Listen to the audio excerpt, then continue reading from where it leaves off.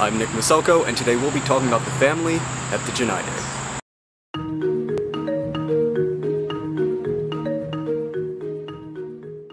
Heptageniidae are known as the flat-headed mayflies. Heptageniidae vary in shape and size, but all Heptageniidae share certain characteristics.